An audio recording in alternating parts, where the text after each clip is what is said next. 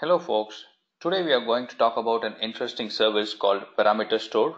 It is part of the Amazon System Service Manager or SSM group of services that Amazon offers.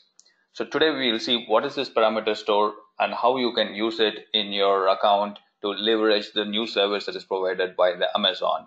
So what exactly is it? In short, it is a vault in the cloud that is provided by Amazon.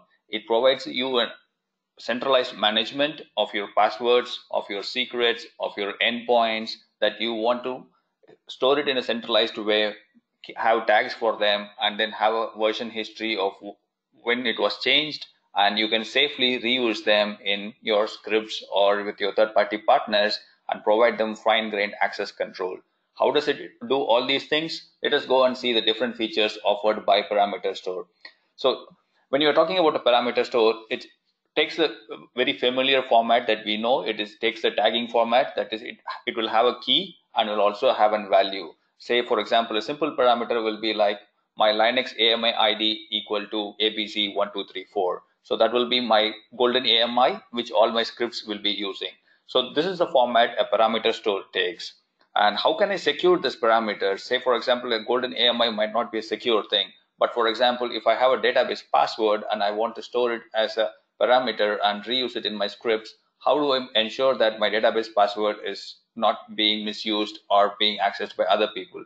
So for that, what parameter store offers is you can encrypt the parameters that is stored in your parameter store. You can use your keys, that is custom keys, or you can use the Amazon native keys that is provided to you. So this way you can ensure that all the secrets that are stored in parameter store are in encrypted format and you can securely decrypt them for only certain people with access to those keys. So that is how you so store your secrets in the cloud. What are the next service that is offered by Amazon?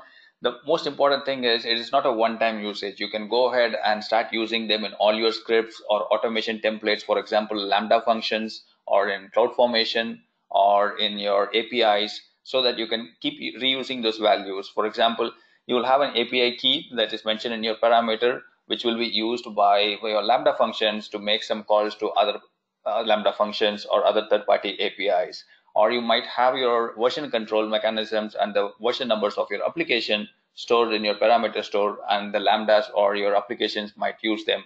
Another common example is the golden AMI, which will be stored in parameter store and CloudFormation will go ahead and pick the golden AMI ID and every time a new template is launched, you will be getting the latest VM based on the latest code and AMI parameter that you have.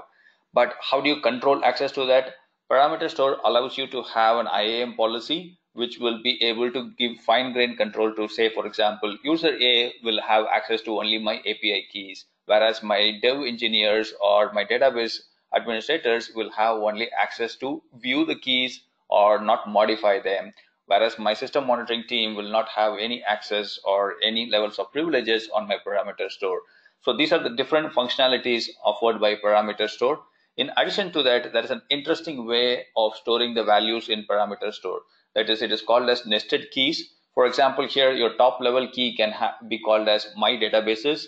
And under that, you can have three different categories. For example, let us starting with on the left hand side, there is an Oracle database.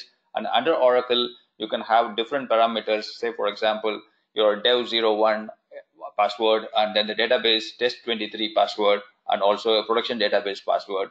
Likewise, you have databases for MySQL and MS SQL as well. And the passwords for those databases also can be stored in a nested structure so that you can go ahead and easily access them in your scripts by knowing the hierarchy of your parameters. So that is how you use parameters in your account.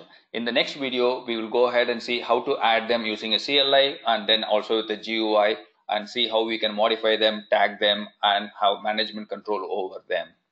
Thanks for watching. Happy learning.